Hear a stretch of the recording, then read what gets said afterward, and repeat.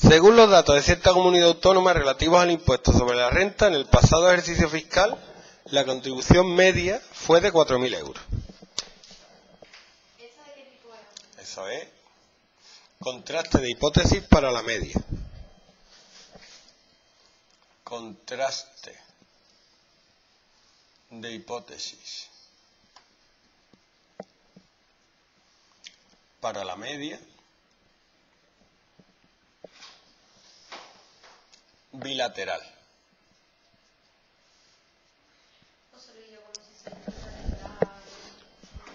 Vamos a seguir leyendo.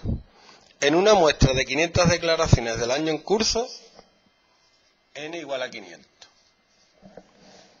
Elegidas al azar, la contribución media ha sido de 4.120 euros. O sea que la media de la muestra, voy a ponerlo bien, esto es mu, la media de la población. La media de esta muestra es 4.120. Y esto es 4.000 con una desviación típica de 1.200 euros. ¿Puedo decir con un 95% de confianza que ha variado la aportación media de los contribuyentes? Lo que, lo que me está diciendo es, vamos a ver, la media es 4.000. Si la media me da 4.120, ¿entra en el intervalo o no entra en el intervalo? ¿Tú cómo lo sabes? Tendrá que hacer el intervalo y ve si entra. Pues esto es tan- fácil como hacer el intervalo y ver si entra. Ya está. O sea, es lo que... No, no, no, no, no, es la misma. Para el contraste bilateral la misma fórmula. Solo es hacer el intervalo y ver si el número que te dan entra o no entra.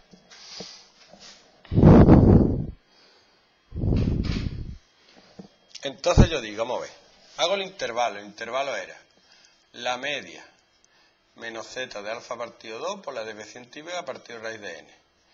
Y la media más z de alfa partido 2 por la desviación típica partido raíz de n. Y hago el intervalo, todo esto ya lo habéis hecho, sabéis hacerlo. Me dicen para el 95%, el 95% cuánto era.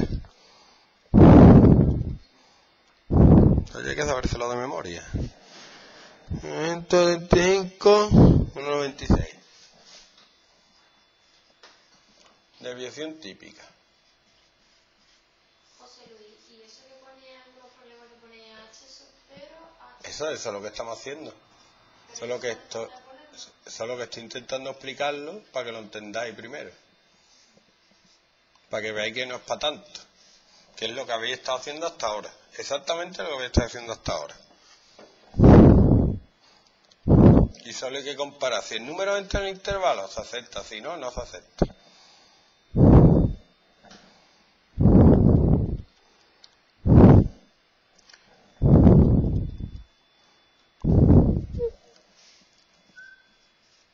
Cuatro mil ciento cinco, coma dieciocho.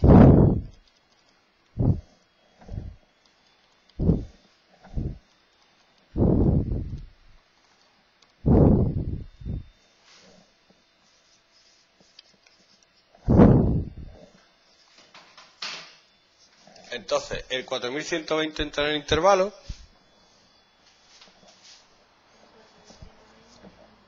No entra en el intervalo. 4120 no entra en el intervalo.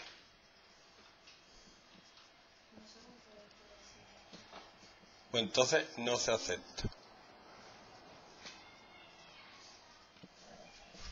Para hacerlo del tirón, sin pensar mucho. Ahora, lo que os dicen que tenéis que poner en el examen. Lo que se supone que es, se llama hipótesis nula. La hipótesis nula es que la media es 4.000. Y la hipótesis alternativa, que se llama C1, es que la media no es 4.000. O sea, la H social es la primera... Mm. tenemos.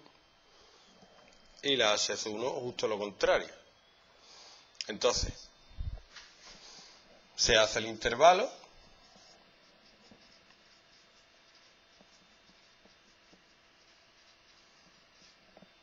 Y dos, se comprueba si la media de la muestra que te dan entra en el intervalo.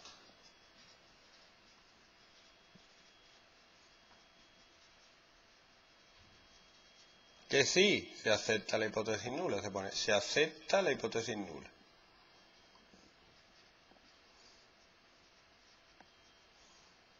Nula. Que no, no se acepta la hipótesis nula, no se acepta H0. Se acepta H1. Es decir, que los contribuyentes están pagando más este año que el anterior.